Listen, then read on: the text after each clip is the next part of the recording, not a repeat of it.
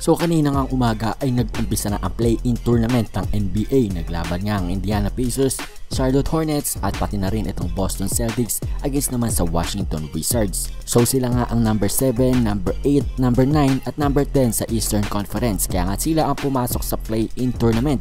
Pero bago natin sila pag-usapan, tingnan muna natin itong pinaka-aabangan niyang laban ang Lakers at ng Golden State Warriors dahil ngayon ay naghahanda na nga sila para sa kanilang laban bukas alas 10 ng umaga dito sa atin Philippine time. At ito ang Lakers at ang Warriors ay nag-upload nga sa kanilang mga social media accounts na itong dalawang team na ito ay nagre-ready at nagpa-practice na nga. So tingnan nyo ang mga litratong kanilang in-upload sa kanilang mga Instagram accounts.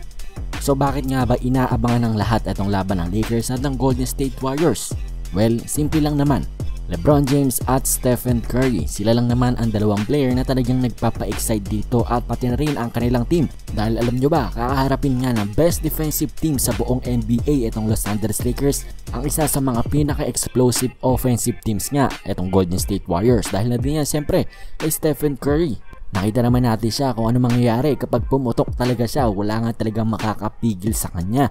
Kaya nga kung sakaling mangyari ngayon bukas sa laban nila, titingnan natin kung ito bang number 1 rated NBA defensive team na Los Angeles Lakers ay kaya nga pigilan itong si Stephen Curry. So napaka-exciting nga talagang laban ito dahil isang game lang ito.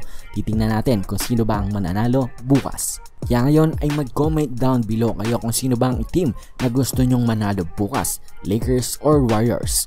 So bago nga natin tapusin itong video natin, tingnan muna natin ang naging resulta sa pinakaunang play-in tournament ngayong season na ito. Nagharap nga ang Indiana Pacers at ang Charlotte Hornets pero wala hang nagawa, walang palag itong Hornets dito sa Indiana Pacers dahil 144 ang kanilang na-score at 170 naman sa Charlotte Hornets. So hindi nga napigilan ng Hornets ang mainit na opensa na itong Indiana Pacers, ang kanilang leading scorer. Ito ang kanilang second year player na si O'Shea Brissett. Meron nga siyang 23 points, 5 rebounds at 2 assists. Si Doug McDermott naman ang sumunod with 21 points at ang kanilang all-star player naman na si Domantas Sabonis ay may 14 points, 21 rebounds at 9 assists para naman sa Charlotte Hornets. Pinangunahan nga sila ni Miles Bridges with 23 points and 8 rebounds. Si Terry Rozier meron niyang 16 points, 8 rebounds at 6 assists. So yan nga nangyari sa unang play-in tournament natin ngayong taon.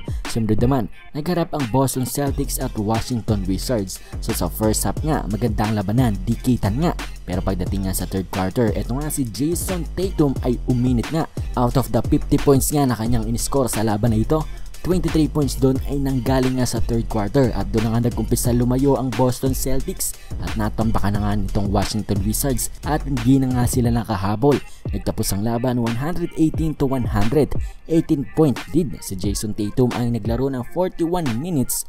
Meron siyang 50 points, 8 rebounds at 4 assists. Si Kemba Walker with 29 points, 7 rebounds at 2 assists nga rin. Si Bradley Beal meron lamang 22 points. Meron naman si Westbrook na 20 points, 14 rebounds at 5 assists.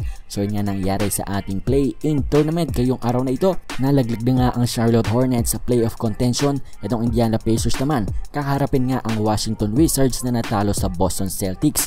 Ang Celtics umadvance na sa playoffs at meron sila hawak nila ngayon ang 7 seed sa Eastern Conference. So para bukas naman ang laban natin, San Antonio Spurs kakarapin nga ang Memphis Grizzlies at ang pinakaabangan na pagharap nga ng Los Angeles Lakers versus Golden State Warriors. So yun nga lamang para sa ating video ngayon. If you guys like the video, make sure to like the video and if you not subscribe, syempre mag-subscribe ka na dahil everyday meron tayong mga NBA updates. So yun lamang, see you guys next video. Bye!